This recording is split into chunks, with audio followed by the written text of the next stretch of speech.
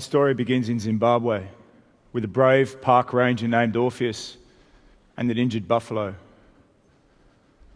And Orpheus looked at the buffalo on the ground and he looked at me. And as our eyes met, there was an unspoken grief between the three of us. She was a beautifully wild and innocent creature. And Orpheus lifted the muzzle of his rifle to her ear. And at that moment, she started to give birth. As life slipped from the premature calf, we examined the injuries. Her back leg had been caught in an eight strand wire snare. She'd fought for freedom for so hard and so long that she'd ripped her pelvis in half. Well, she was finally free. Ladies and gentlemen, today I feel a great sense of responsibility in speaking to you on behalf of those that never could. Their suffering is my grief, is my motivation. Martin Luther King best summarizes my call to arms here today. He said, There comes a time when one must take a position that's neither safe, nor political, nor popular. But he must take that position because his conscience tells him that it's right. Because his conscience tells him it is right the end of this talk, I'm going to ask you all a question. That question is the only reason I travelled here today, all the way from the African savannah. That question for me has cleansed my soul. How you answer that question will always be yours. I remember watching the movie The Wizard of Oz as a young kid, and I was never scared of the witch or the flying monkeys. My greatest fear is that I'd grow up like the lion, without courage and I grew up always asking myself if I thought I'd be brave. Well, years after Dorothy had made her way back to Kansas and the lion had found his courage, I walked into a tattoo parlor and had the words seek and destroy tattooed across my chest. And I thought that'd make me big and brave. Well, it'd take me almost a decade to grow into those words. By the age of 20, I'd become a clearance diver in the Navy. By 25, as a special operations sniper, I knew exactly how many clicks of elevation I needed on the scope of my rifle to take a headshot on a moving target from 700 metres away.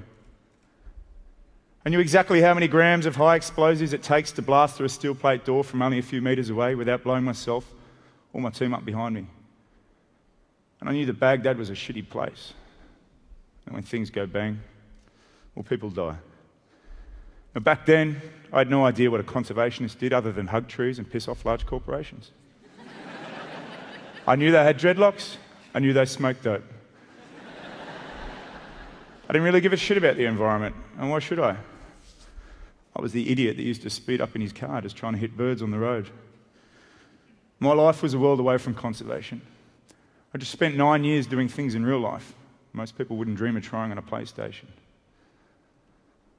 Well, after 12 tours to Iraq as a so called mercenary, the skills I had were good for one thing I was programmed to destroy. Looking back now on everything I've done and the places I've been, in my heart, I've only ever performed one true act of bravery. And that was a simple choice of deciding yes or deciding no. But it was that one act which defines me completely and ensures there'll never be separation between who I am and what I do. And when I finally left Iraq behind me, I was lost. I felt. Uh, just had no idea where I was going in life or where I was meant to be. And I arrived in Africa at the beginning of 2009. I was aged 29 at the time. And somehow I always knew I'd find a purpose amongst chaos, and that's exactly what happened. I had no idea, though, I'd find it in a remote part of the Zimbabwe bush. And we were patrolling along, and the vultures circled in the air. And as we got closer, the stench of death hung there in the air like a thick, dark veil and sucked the oxygen out of your lungs. And as we got closer, there was a great bull elephant resting on its side with its face cut away. And the world around me stopped. I was consumed by a deep and overwhelming sadness. Seeing innocent creatures killed like this hit me in a way like nothing before. I'd actually poached as a teenager, and their memories I'll take to the grave. Time had changed me, though. Something inside wasn't the same, and it's never going to be again. I asked myself, does that elephant need its face more than some guy in Asia needs a tusk on his desk? Well, of course it bloody does. That was irrelevant. All that mattered there and then was would I be brave enough to give up everything in my life to try and stop the suffering of animals? This was the one true defining moment of my life. Yes or no? I contacted my family the next day and began selling all my houses as assets a well advised mercenary quickly acquires with the proceeds of war. My life savings have since been used to found and grow the International Anti Poaching Foundation. The IAPF is a direct action law enforcement organisation. From drone technology to an international qualification for rangers, we're battling each and every day to bring military solutions to conservation's thin green line. Now, my story may be slightly unique, but I'm not going to use it to talk to you today about the organisation I run in what probably could have been a pretty good fundraiser.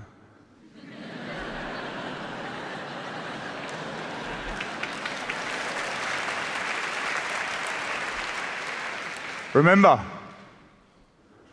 today's about the question I'm going to ask you at the end. Because it's impossible for me to get up here and talk about just saving wildlife when I know the problem of animal welfare is much broader throughout society. A few years after I saw that elephant, I woke up very early one morning. I already knew the answer to the question I was about to ask myself, but it was the first time I'd put it into words. Does a cow value its life more than I enjoy barbecue?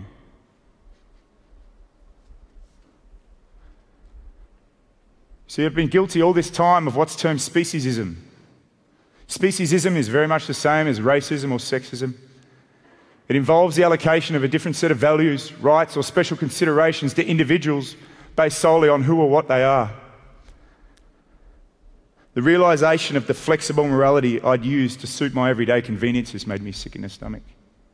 See, I'd love blaming parts of Asia for their insatiable demand of ivory and rhino horn, and the way the region's booming economic growth is dramatically increasing the illegal wildlife trade. When I woke up that morning, though, I realized, even though I dedicated my life to saving animals, in my mind, I was no better than a poacher or the guy in Asia with a tusk on his desk as this overconsumptive meat eater, I'd referred to some animals as beasts, when in reality I'd been the beast. Destructively obedient, a slave to my habits, a cold shoulder to my conscience. We've all had contact with pets or other animals in our lives. We can't deny our understanding of the feelings that each animal has, the ability to suffer pain or loneliness, and to fear.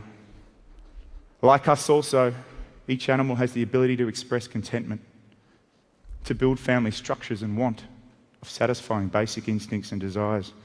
For many of us, though, it's as far as we allow our imagination to explore before the truth inconveniences our habits. The disconnect that exists between consuming a product and the reality it takes to bring that product to market is a phenomenon to itself. Animals are treated like commodities and referred to as property. We call it murder to kill a human being, yet create legal and illegal industries out of what would be regarded as torture if humans were involved. And we pay people to do things to animals that none of us would engage in personally. Just because we don't see it up close does not mean we're not responsible. Peter Singer, the man that popularized the term speciesism, wrote Although there may be differences between animals and humans, they each share the ability to suffer. And we must give equal consideration to that suffering. Any position that allows similar cases to be treated in a dissimilar fashion fails to qualify as an acceptable moral theory. Around the world this year, 65 billion animals will be killed in factory farms. How many animals' lives is one human's life worth? A meat eater in this room will consume, on average, 8,000 animals in their lifetime. Ocean pollution, global warming, and deforestation are driving us towards the next great mass extinction, and the meat industry is the greatest negative factor in all of these phenomena. The illegal traffic in wildlife now ranks as one of the largest criminal industries in the world. It's up there with guns, drugs, and human trafficking. The ability to stop this devastation lies in the willingness of an international community to step in and preserve a dying global treasure. Experimentation on animals. If animals are so like us that we can substitute using them instead of humans, then surely they have the very same attributes that mean they deserve to be protected from harm. Whether we're talking about factory farming, live export, poaching, the fur trade, logically, it's all on the same playing field to me. Suffering is suffering, and murder is murder. And the more helpless the victim, the more horrific the crime. The next time you think an animal lover is too emotional, too passionate, or even a little crazy, please remember we see things through a different lens. So, in a few days, my son's going to be born. I find myself wondering what kind of world is he entering? Are we going to be the generation that defines our failure as a species? I believe our generation will be judged by our moral courage to protect what's right, and that every worthwhile action requires a level of sacrifice. Well, I now offer myself without reservation to animals. And when I strip away all the material belongings around me, I see that I too am an animal. We're family, together on one planet. And of the five million species on that planet, only one has the power to determine what level of suffering is acceptable for all other sentient beings to endure. Whether it's eating less meat, contributing to the fight against poaching, or speaking up for the voiceless, we all have choices. And small changes in our lives mean big changes in others. So now back to the beginning. My reason for being here, it's my question for you. Next time you have an opportunity to make a difference for animals, will you be brave enough? Yes or no? Thank you very much.